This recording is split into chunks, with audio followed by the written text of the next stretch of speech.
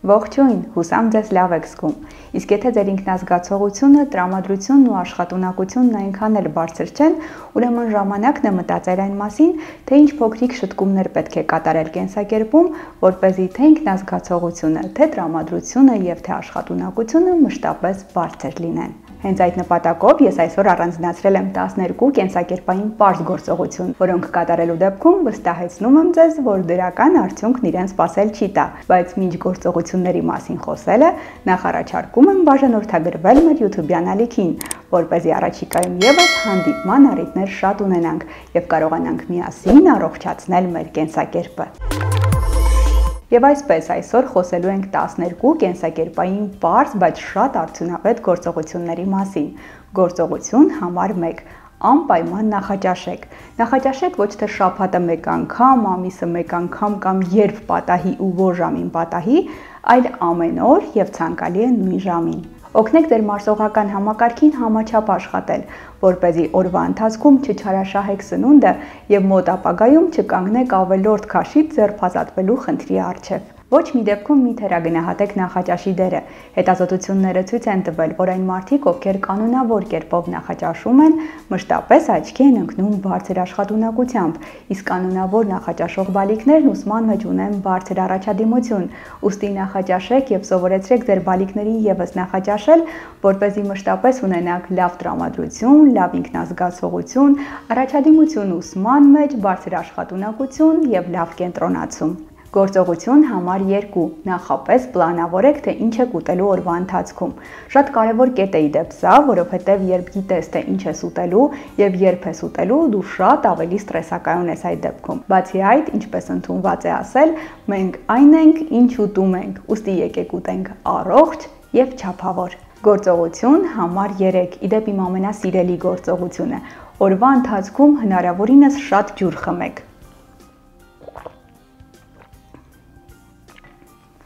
Դա օգնում է ունենալ լավ ինքնազգացողություն, օգնում է կարգավորել քաշը եւ առհասարակ լինել ավելի առողջ։ Շատ հաճախ մարդիկ ասում են մենք ջրի կարիք չունենք եւ մենք օգտագործում ենք հեղուկ ու այդ հեղուկ ասվածի տակ նրանք ի նկատի ունեն գազավորված քաղցր ըմպելիք, ինչն ամենակարճ ճանապարհն է դեպի տիպ 2 շաքարախտ կամ ճարպակալում։ Ոմանք էլ ասում են, որ մենք շատ ուզում ենք ջուր խմել, բայց ջրի համը մեզ այդքան էլ դուր չի գալիս։ Հարգելիներս, վստահեցնում եմ ձեզ, որ դա լուծելի խնդիր է։ Ջրի մեջ կարող եք ավելացնել օրինակ մի կտոր կիտրոն, մի կտոր նարինջ, ձմերուկ, հատապտուղ, ցանկացած բանքերա, ծինվիր, փոխեք ջրի համը եւ օգտագործեք այդքան օգտակար ջուրն օրվա ընթացքում։ Գործողություն համար 4. Արթնանալուց հետո մի փոքրիկ ժամանակ հատկացրեք ձեզ ու ձեր մարմնին։ Օրինակ շնչառական վարժություններ կատարեք։ Կատարեք ձգումներ կամ թափահարեք ձեռքերն ու ոտքերը։ Դա օգնում է թոթափել սթրեսը, ավելի առույգ լինել եւ ավելի լավ տրամադրությամբ սկսել օրը։ Իսկ այն մարդիկ, ովքեր արթնանալուն պես խելապատար վազում են ու առանց շունչ առնելու, ընդամենը հասցնում են մեկ գավաթ սուրճ ըմպել ու անմիջապես դուրս գալ տանից, վստահեցնում եմ ձեզ, որ օրվա ընթացքում եւս այդպես խելապատար գործողություններ են կատարում ու ապրում են ոչ այնքան արդյունավետ։ Գործողություն համար 5. Ավելի հաճախ on-line-ից անցեք off-line-ի։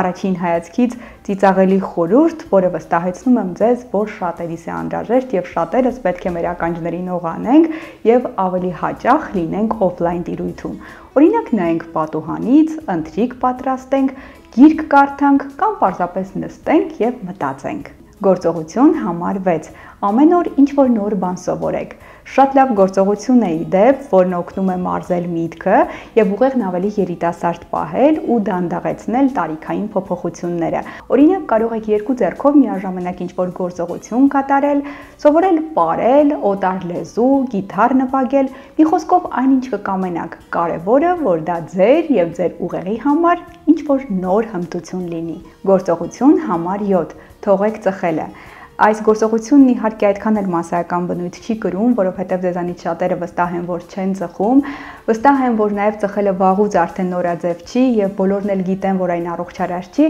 բայց ամեն դեպքում նրանք, ովքեր դեռ շարունակում են ծխել, իմ բարի խորհուրդը ձեզ թողեք ծխելը։ Հասանք 8-րդ գործողությանը։ Կարևորեք քունը, կարևորեք քնի հիգիենան, Վստահ եղեք, որ լիարժեք քունը օգնում է ձեզ ավելի առողջ լինել, օգնում է կանխարգելել սիրտանոթային պատահարները, օգնում է ավելի լավ կենտրոնացում ունենալ, ունենալ ավելի լավ ինքնազգացողություն։ Եվ առհասարակ, եթե դուք լավ եք քնել, ապա վստահեցնում եմ ձեզ, որ օրվա ընթացքում բոլոր գործողությունները ձեզ ավելի հեշտ կտրվեն։ Առհասարակ սովորություն դարձրեք քնել այսօր, այսինքն մինչ 24:00-ն Պարկեք նույն ժամին եւ փորձեք արտանալ նույն ժամին։ Ցանկալի է որպեսի քնեք 7-ից 9 ժամ։ Իդեպ մի կարևոր հանգամանք եւս։ Քնեք մութ, անաղմուկ եւ օթափողված սենյակում։ Գործողություն համար 9. Շաբաթը 2-ից 3 անգամ անպայման մարզվեք։ Մարզեք ձեր մկանները, քանի որ երբ մարզում եք ձեր մկանները, ստրեսը հեռանում է ձեր մարմնից, ձեր մարմնից հեռանում է նաև ավելորդ քաշը,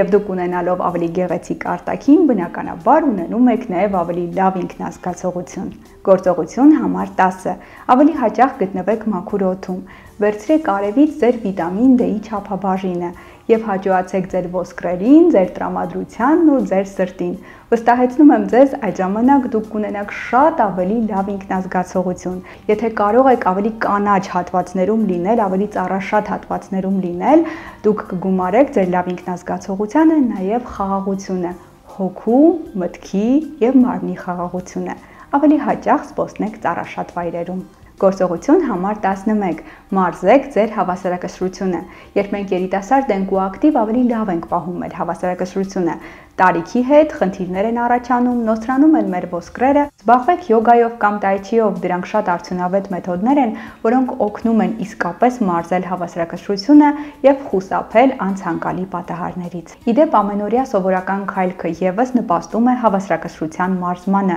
Ոստի եթե չեք կարողանում օրինակ յոգայով զբաղվել, օրվա ընթացքում գոնե 30 րոպե քայլեք։ Եվ վերջապես գործողություն համար 12։ Եղեք ավելի ուշադիր եւ ապրեք գիտակցված։ Այդ ժամանակ դուք կկարողանաք կառավարել ստրեսը, լինել ավելի ցավադիմացկուն եւ ունենալ ավելի լավ ինքնազգացողություն։ Դրան հասնելու համար կարող եք դիմել օրինակ ամենօրյա մեդիտացիայի օգնությանը։ Ապացուցված է, որ 8 շաբաթ շարունակ մեդիտացիայով զբաղվելուց հետո դուք կարող եք գրանցել ռեկորդային արդյունքներ, ունենալով բարձր տրամադրություն, լավ ինքնազգացողություն եւ բարձր աշխատունակություն։ Իսկ դա այն է, ինչ անհրաժեշտ է բոլորիս։ Լավ մնացեք, առողջ եղեք եւ անպայման բաժանորդագրվեք մեր YouTube-յան ալիքին, որ เป զի ավելի հաճախ հանդիպենք եւ միասին կարողանանք առողջացնել մեր կենսակերպը։